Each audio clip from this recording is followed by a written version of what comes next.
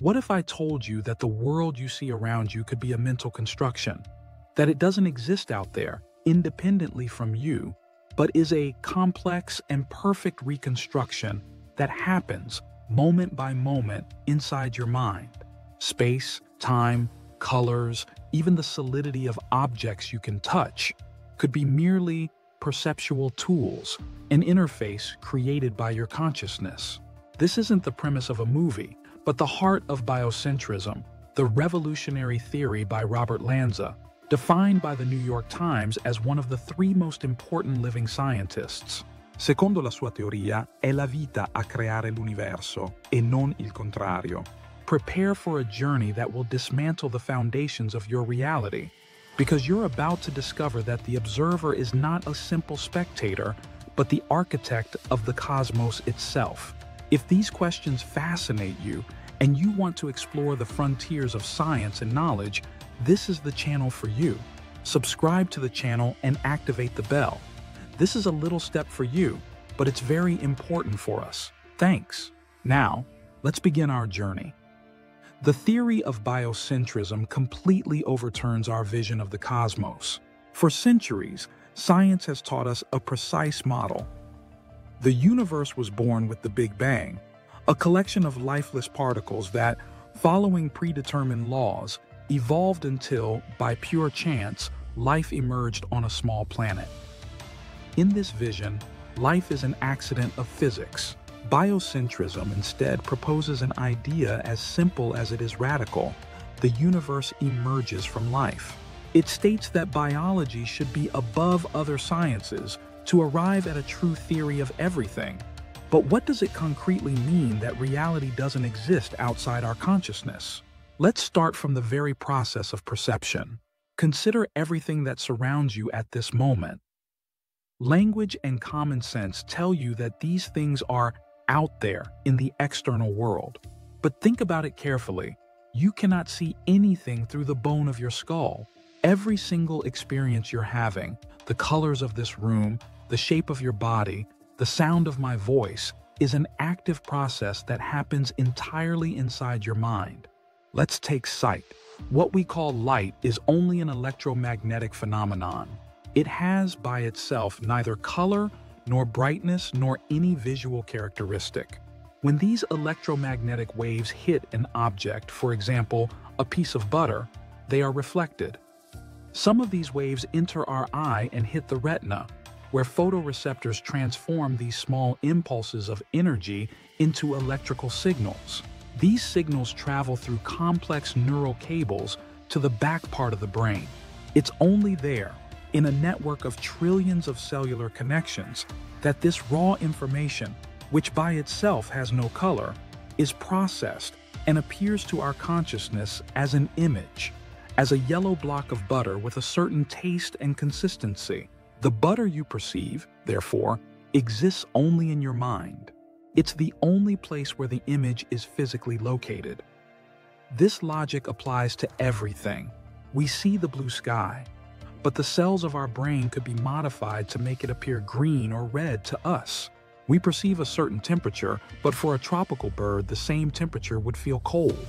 Space and time, therefore, are not external and objective containers, but are the tools of our mental software to organize and make sense of this flow of information. All our experience is information that takes shape within our consciousness. This idea, which may seem purely philosophical, has its roots in the greatest mysteries of quantum physics. What happens, in fact, to the world when we're not observing it? If at night you turn off the light and leave the kitchen, you think that the refrigerator, the table, and the chairs are still there, invisible, right? Well, quantum physics tells us something shocking.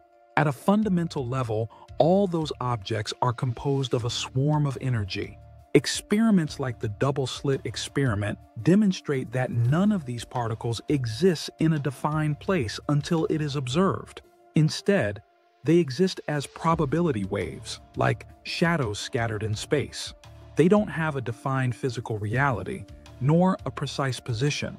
It's only at the moment when an observer interacts with them, when you return to the kitchen to drink a glass of water, that the mind, in fact, collapses these probabilities into a defined particle, into a solid object. Already at the beginning of the 20th century, scientists like Niels Bohr clashed with experiments that challenged common sense. In his legendary debates with Albert Einstein, who defended the idea of a real and objective universe out there, Bohr maintained that when we measure something, we're not discovering a pre-existing property, but we're forcing an indeterminate world to assume a value. In other words, we're not measuring the world, we're creating it. The double slit experiment is the most famous proof of this. When scientists observe a particle, it behaves like a projectile and passes through only one slit. But if they don't observe it, it behaves like a wave and passes through both simultaneously. Why should the behavior of a particle depend on our observation? The answer, according to biocentrism, is that reality is a process that requires the participation of consciousness. Increasingly sophisticated experiments have revealed an even more incredible detail. The mere knowledge in the experimenter's mind is sufficient to cause the collapse of the wave function and transform a probability into a reality. But how can consciousness, something we perceive as immaterial, have such a fundamental role in the structure of reality? Here the theory goes even further, connecting quantum physics to the cognitive mechanisms of our brain. Scientists like anesthesiologist Stuart Hameroff and Nobel Prize winning physicist Roger Penrose have hypothesized that the human brain can be considered a sort of quantum computer. Consciousness, according to them, would not be a simple product of the electrical activity of neurons, but a more fundamental quantum process that takes place at a deeper level within protein structures called microtubules, which form the skeleton of each of our cells. In this vision, consciousness is like software that processes information at the quantum level. This same quantum information, collected and processed, is what we could call soul. Thanks to these principles, Biocentrism offers an elegant explanation to one of cosmology's greatest enigmas. Why does the universe seem so perfectly tuned for life? There are more than 200 physical parameters, like the force of gravity or the charge of the electron, which if they were even slightly different, life as we know it could not exist. If the Big Bang had been a millionth of a time more powerful, the universe would have expanded too fast to form galaxies. If the strong nuclear force had been a bit weaker, only hydrogen would exist. The traditional explanations are two, either a divine creator or the multiverse, where infinite universes coexist and we find ourselves in the right one. Biocentrism proposes a third way. The universe couldn't exist in a way that doesn't allow life, because life itself, the observer determines its laws and parameters. The universe we see simply reflects the space-time logic of our consciousness. At this point, you might feel the need to delve deeper into these revolutionary ideas. The implications of this theory are profound. If space and time are not absolute, but tools of the mind, then death loses its meaning as an absolute end. Lanza compares consciousness to an energy that cannot be created nor destroyed. When the physical body dies, this energy doesn't vanish, but could simply transit into another reality, into one of the many parallel universes hypothesized by quantum physics. Death, therefore, would not be an end but a transition, the quantum information that constitutes us, according to Hameroff and Penrose, would be released and returned to the universe to continue existing. Naturally, it's fundamental to be clear. Biocentrism and the Orch-OR theory are not, today, scientific theories accepted by the majority of the scientific community. They are bold and fascinating interpretations of quantum phenomena, but they remain subjects of debate for conventional physics and biology.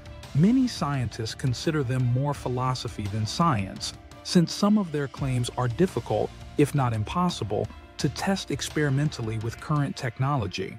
Our reality at the quantum level behaves in a non-intuitive way. But the logical leap to affirm that consciousness creates the universe is a step that most scientists are not yet willing to take. In conclusion, what does this journey to the borders of science leave us with? It leaves us with a profound sense of wonder and with more questions than answers. Robert Lanza's theory of biocentrism, together with the ideas of scientists like Penrose and Hameroff, forces us to confront the limits of our understanding. It pushes us to ask ourselves if reality is really as it appears, or if the external world is, in a certain sense, a fantasy created by our mind. Perhaps science and spirituality, long seen as irreconcilable fields, are slowly converging toward a new paradigm, a unified system in which consciousness is not an accidental byproduct of the universe, but its very source. Perhaps, as Einstein suggested, the distinction between past, present, and future is only a stubborn illusion, and our existence is not confined to time, but extends beyond it. We don't have certainties, but we have an invitation to look at the cosmos and ourselves with new eyes, to recognize that the greatest mystery is not out there among the stars, but within us, in the ineffable phenomenon of consciousness. Thank you for following this journey with us. If these topics excite you, and you want to continue exploring together the great questions of existence, I invite you to subscribe to the channel. Let's continue to question ourselves, to explore and to marvel together.